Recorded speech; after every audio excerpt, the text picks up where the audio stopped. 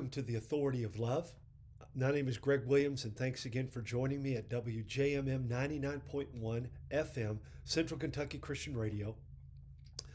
Yesterday, in our episode, we dealt with the command of teaching one another, which is done from having the Word of Christ dwell richly and deeply within us. I also shared that preaching and teaching, while commanded and greatly needed, are not enough as we tend to do church today with folks simply showing up, giving a little of their time and money and little else in their walk with the Lord. The goal of the gospel that is to be taught is both salvation and sanctification, saving us from sin, death, and hell, and setting us apart to be holy, which is done through discipleship, which is why the word has to dwell deeply in us, and we must do more than just surface teaching.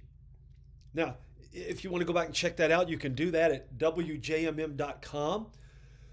Click on the podcast tab and then the love and lordship links, and you'll get today's and the previous two days, which will actually take you back to our Family Foundation Friday from last week, of course, this being Tuesday.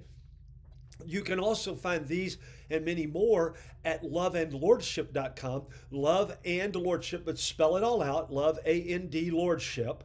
L O R D S H I P there. If you're watching video, you can see it right there, but put A and D in place of the ampersand, right? A and D in place of that, and you'll find it. Hopefully that helps you who are listening and you can listen to that and share it with others. And I'd love to connect with you. You can do that at love and lordship, once again, all together, love and lordship at gmail.com. Thank you for those who have and for the encouragement, the questions, and the challenges. I certainly appreciate that and look forward to, to yours as well. Now, as I mentioned in the intro, yesterday's uh, one another was powerful, but it needs more than we tend to give it today. Uh, and, and that makes it a little more difficult. But when Jesus taught on discipleship, which when he said, This is the only way you have life, many of them turned and walked away. Dr. Voddie Baucham, one of my favorite contemporary authors and teachers, talks about not only what makes today's Christianity and church so milquetoast and weak, but why, when he shares that most of our teaching are rooted in what he calls affective theology. So he not only shares that it is so, but why it is. He says that we practice an affective theology.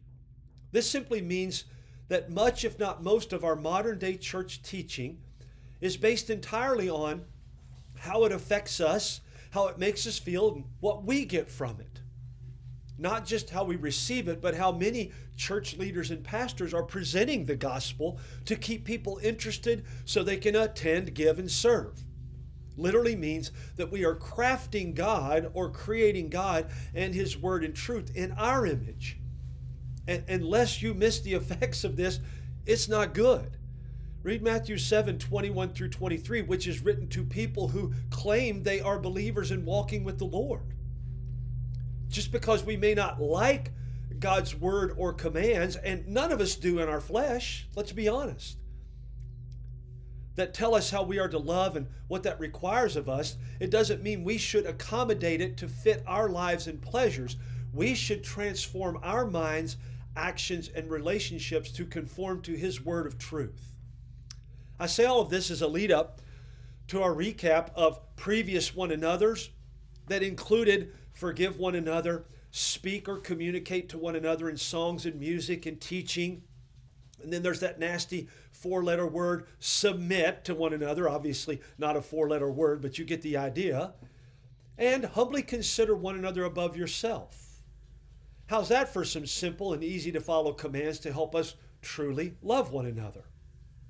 I hope you're getting the idea and understanding why I led with Dr. Baucham's concept on affective theology and how we temper and redefine much of what we hear in Scripture to fit what we like or what makes us feel good, or we find pastors that are doing that with the Word so that we can feel good. The Apostle Paul had a stern warning for us in Galatians 6, 7, and 8 to believers in what is commonly referred to as the law of the harvest. The reason is that once we begin to temper and twist God's truth to fit our desires, pleasures, concepts, and feelings, we are convinced we are still in His Word and will, and living in His will, but are sorely and sadly mistaken and headed for destruction of some kind. Why? Because instead of God and His truth holding His right place in our minds, hearts, and lives, we have crafted Him and His Word in our image, all the while claiming that we're walking in His truth and image. That's what Paul's saying. Don't deceive yourselves. God can't be mocked.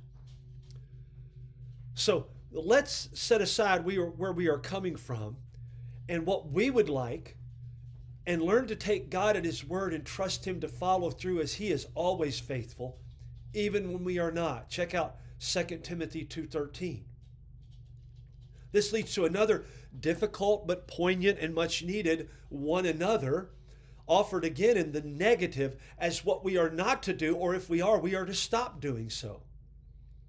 As we prepare to hear this command, allow me to share something that will likely ruffle a few feathers as I'm going to challenge an iconic and classic TV show that I, I myself dearly love.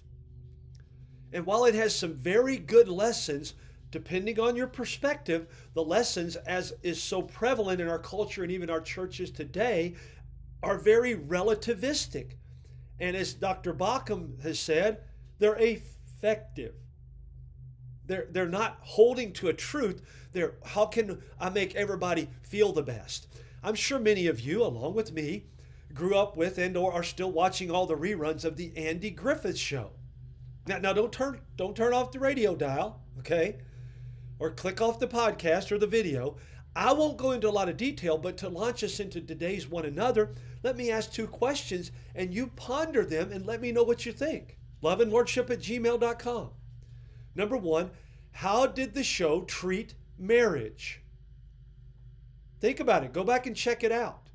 And number two, how often did characters, and in particular the main character, Sheriff Andy Taylor, lie to Opie, Barney, Aunt Bee, and others just to keep the peace? And nearly every time it turned out wonderful, right? One of the things that happened in some of them was, well, not so much. It didn't always turn out right. But there were many times that we didn't see the resolve of that when, when the little white lie was told just to keep the peace. Now, with that said, today's command is, if you haven't guessed it yet, is don't lie to one another. Lying to others is a great dishonor to Christ and His Word. However, it is not just outright speaking something that is untrue. Deception and embellishment are forms of lying that do not exhibit our Lord and Savior Jesus Christ. Last week, some of last week's one another's encouraged us to ultimately place others above self. And we claim to do that when we tell the little white lie so they'll feel better. One of the ways we do this is to honor others, though, in what and how we share with them, truthfully in word and deed. We are not to lie to, embellish, or deceive others or ourselves in any way if we are truly walking with and in Christ. I know it's not easy, but it's what we're called to. As I've already shared, the, the a previous couple of one another's have been exceptionally powerful and good, even if they're not easy to follow through with because our flesh didn't really like them. That's why in all of these commands, positive or negative, we have to die to our flesh, our selfish desires, and what makes us feel good in that, in order to make God first in all things and then place others above self, above me. This is the only way to consistently fulfill these various commands in which we truly love one another in Christ by daily putting on the new person that you are, that I am in Christ and becoming more like Him. I can do this only by His grace and His Holy Spirit in me. And I can only receive the Spirit by surrendering and submitting by faith in Christ and allow His grace, truth, and love to fill me and then overflow to others. To hear, to believe, to repent, to confess, to be obedient in baptism. The scripture clearly talks about these things so that I am Christ and have put on Christ and have been forgiven, and the Holy Spirit can now dwell in me and does. and then overflow to others. As we continue, we find another negative here thing that I think that we far too often don't take seriously. Can anyone say Andy Griffith show? In Colossians 3 9 and 10, Paul exhorts us as believers do not lie to each other. There's another, here's another ouch, if I'm honest, and I would imagine it has been the same in your life at some point, and maybe even now, if you're being straight up with yourself. This is not just about the tongue, but the mind and heart as well. What we tend to do is admit and work through the obvious, blatant lies that we know everyone can find out or eventually will notice. However, God's word tells us that what is done in darkness, no matter how small, insignificant, or hidden we think it is, thus it's in darkness, will be brought to the light. Luke 12, 2 and 3. We have to remember this and continually lay our every motive, thought, and decision before the Lord and walk in His truth. Even the little white lies, the partial truths, which are not truth, that are told to gain advantage or avoid consequences or maybe help somebody feel a little better in the moment, even the prideful embellishment to make us look better in the sight of others, all fall into this category of do not lie to each other. I, I know it's tough, but that's why I can't do it in and of myself because that's where I'll go. But in Christ, we can do it. So let me ask, how are you doing when it comes to lying to others in any way, shape, or form, or displaying His truth in every part of your life? Food for thought as we wrap up Christ calls us to purity and integrity, shalom or wholeness in Him, where every part of our lives line up with His truth. This is what the Holy Spirit, through Paul, is commanding us to do in this one another. Will you respond with the integrity that only comes from Christ? Four action items. You know the first two. If you're listening or you followed along on podcast or videos, spend time in His Word and prayer daily. Read and study the scriptures in this message as a way to start. Number two, ask the Holy Spirit to teach you. One of the functions of the Holy Spirit is this. Number three, what does lie, deception, embellishment conjure up in your mind? And number four, what do you need to do to make sure you are in no way deceiving yourself or others in order to honor Christ, yourself, and them? Let's live first to honor Christ, ourselves in Christ, and then others. That's how we are to love one another. More on this tomorrow. Join us and ask family, friends, and loved ones, even enemies, to, to join us as well so we can hear more of these truths and grow as Christ's disciples with Him as Savior and Lord. Remember, we're in our mid year fundraising, so if you will, if you're praying and the Lord leads you, go to our website, loveandlordship.com. Love and Lordship, all spelled out together.com. There's a give tab near the upper right. If you if you feel led to click on that and in just a minute or so you can give once or ongoing and we greatly appreciate that to help us continue this and reach more. And all donations are tax deductible. You can also give uh, online or mobilely through the Cash App, cash.app forward slash dollar sign love and lordship, all spelled out together, and both L's are capital. Thank you for joining us today, as always. Thanks for your prayers, and thanks always to our Lord and Savior, Jesus Christ. Make it a great day, and God bless in Christ.